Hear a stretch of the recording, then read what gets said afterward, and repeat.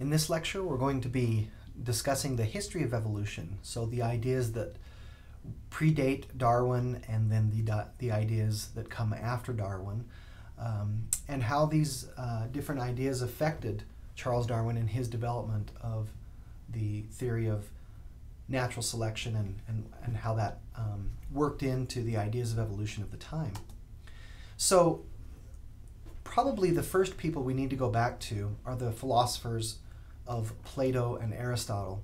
And we can remind ourselves that Plato had this idea of the cave, where there was this roadway and people would walk across this roadway. There was a fire which cast shadow or cast light this way and um, ca- cast shadows, whatever was coming across the roadway on this wall. And then there were these people who were sitting down here and can basically watch the shadows come across the wall. And so whatever was seen in the shadow was a, an imperfect representation of what was actually being brought across the roadway. And and so any any diversity that was found in, you know, say a horse, there's lots of different kinds of horses. That diversity was explained as just a incomplete manifestation of what the true horse was. But species were fixed. Species were individually and they were fixed.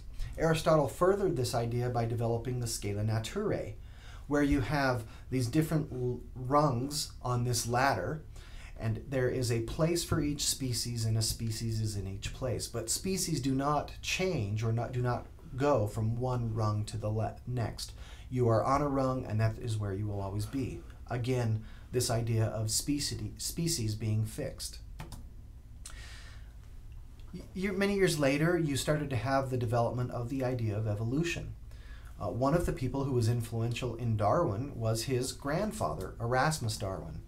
He was one of the leading intellectuals at the time in uh, England, and he was a physician by trade, but he also was a poet, a botanist, and a naturalist, a philosopher.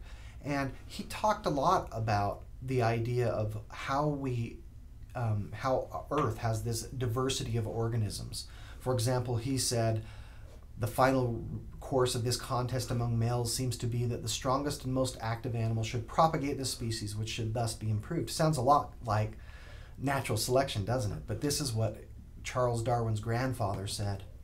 He ended up writing a book also um, called The Laws of Organic Life, in which he suggests that all life came from one living filament.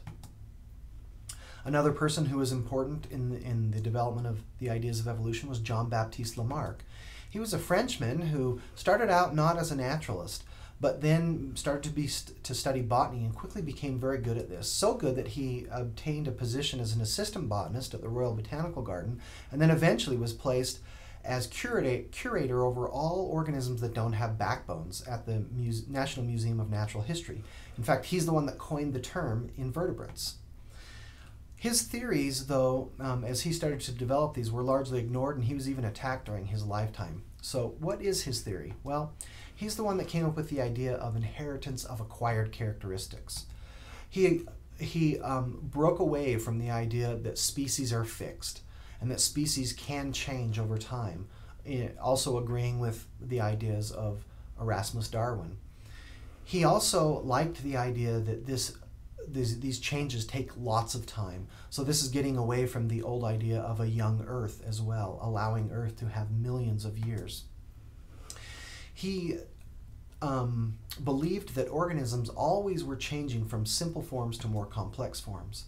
And the way that he described this was he used the word law here. We would probably call this a hypothesis nowadays. Um, but he basically said that when there was a change in the environment, you had a change in the behavior. Change in behavior led to greater use or disuse, and greater use led to a structure increasing in its function or complexity, and lesser use, a loss of the structure or shrinking. Um, one of the classic examples, of course, is with giraffes. The reason that giraffes have long necks is maybe there was a change in the environment, like a drought, and then that drought led to um, you know the giraffes reaching and stretching their necks up, and even you know their tongues coming out, and and and that greater use of the necks and of the tongue muscles and of the lip muscles led giraffes to their current um, form of long necks, you know, these huge black tongues that can come out and, and scrape uh, a, a branch of all of its leaves and so forth. And and the reason that giraffes have that is because those changes that were acquired during their lifetimes due to the striving were then inherited.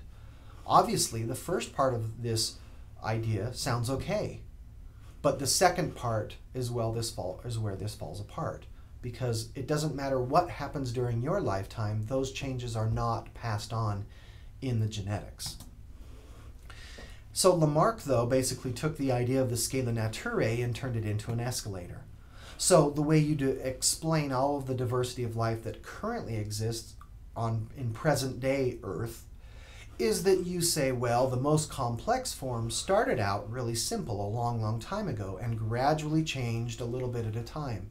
But notice this is linear evolution. There is no branching or there is no relationship between one form of life on the planet that currently exists to another form of life on the planet that currently exists. They come from independent evolutionary lineages.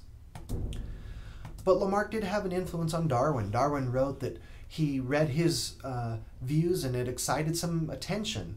And he liked the idea that you could explain the diversity of life on this planet through natural law and not miraculous interposition. So the similarities with Darwin's ideas were they both agreed that adaptive changes occurred in, in lineages. Darwin, though, thought that this happened in a tree like fashion, whereas um, Lamarck thought it was linear. They also both agreed that changes are ultimately driven by the environment and that it requires long periods of time for evolution to take place. The differences, though, were Lamarck always thought there was this progression to perfection, that there was some inner mystical goal or something that the organisms were striving towards. He also um, thought that the operating mechanism was organismal striving rather than natural selection. And he did not think that species actually went extinct, rather, they just evolved away. Darwin agreed with the idea of extinction, which was proposed by Cuvier. And, and then, as I said, Lamarck was linear evolution, where Darwin was tree like.